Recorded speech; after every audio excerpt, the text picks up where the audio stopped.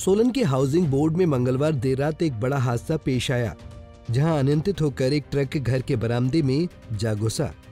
हैरानी की बात यह कि जिस रोड पर एंबुलेंस भी नहीं जाती है, उस रोड पर एक बड़ा ट्रक उतार दिया गया।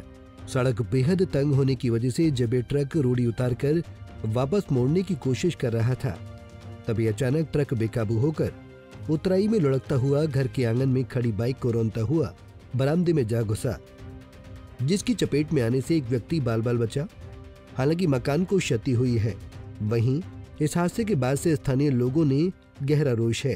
बार बार जो है ब्रेक ट्रक जो है आगे पीछे जा रहा था, जगह तंग होने की वजह से गाड़ी, ट्रक जो है मुड़ नहीं पा रहा था और नहीं मुड़ने की वजह से जो है उसमें इतना प्रेशर पड़ गया ब्रेक के ऊपर कि ब्रेक जो है आहिस्ता आहिस्ता डाउन होती चली गई और डाउन होने की वजह से फिर ब्रेक लास्ट में लगी नहीं और जाके बिल्डिंग में अंदर मतलब घुस गया जाके फिर ट्रक जो है। तो आपको लगता है कि काफ़ी घटना हो सकता है?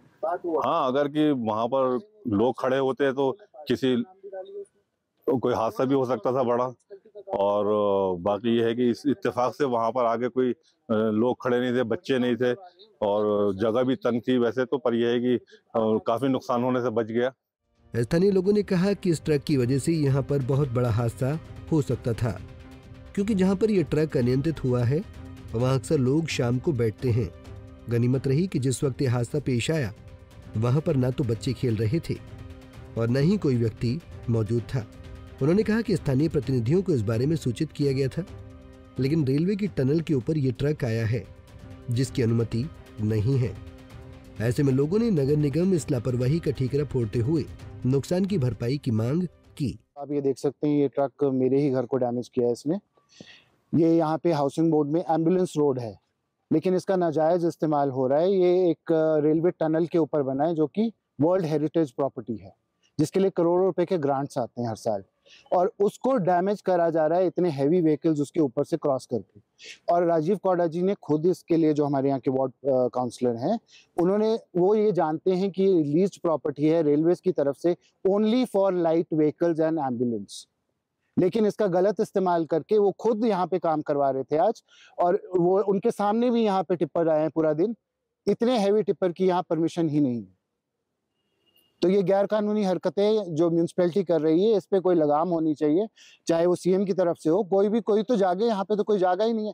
यहाँ तो अभी हादसा हो जाता है, यहाँ पे नॉर्मली लोग बैठते हैं, यहाँ पर एक बेंच रहता है जिसपे चार पाँच लोग शाम को बैठा करते हैं। वो सब आज कुचले जाते हैं। मेरे ही टेनेंट अंदर खड़े थे वो बाल बाल बचे हैं लगभग चार से पाँच फुट के डिफरेंस पे थे वो। तो इस बारे में शिकायत आपने की? जी हमने पुलिस पुलिस को बुलाया है। अभी तक तो कुछ हुआ नहीं है तो अब आगे देखते हैं कि होगा क्या। काउंसलर को भी आपने काउंसलर को हमने इंटीमेट भी किया बुलाया भी यहाँ पे लेकिन काउंसलर नहीं आए। पाँच बजे तक उनके पास फुर्सत थी उसके बाद अब फुर्सत नहीं है उनके पास। तो अब क्या मांग कर रहे हैं आप?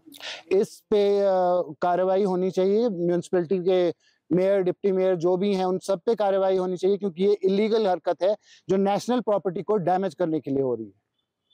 तो यहाँ पर यानी कि आपका कितना नुकसान आप मान रहे अ, यहाँ पे मुझे लगता है नहीं भी तो कम से कम लाख के करीब का तो डैमेज हो ही गया होगा जितनी ग्रिल्स वगैरह सारा तोड़ दिया है इसने हमारा। इसकी चपेट में क्या क्या चीज़ें आई हैं? हमारा यहाँ पे जो गेट वगैरह था पिलर्स वो सारे बीच में आ गए चपेट बाइक भी? किसी की बाइक है वो हमारी नहीं है उससे बाहर खड़ी थी। पंजाब केसरी के लिए सोलन से नरेश पाल की रिपोर्ट। हमसे जुड़े रहने के लिए हमारे YouTube चैनल को सब्सक्राइब करें और नई वीडियो की नोटिफिकेशन के लिए बेल आइकॉन को दबाएँ। अगर आप ये वीडियो Facebook पर देख रहे हैं तो लाइक ज़रूर करें और ज़्यादा से ज़्यादा शेयर करें। इसी तरह के और भी अपडेट्स के लिए फॉलो करें हमारा Instagram page Himachal dot Kesari.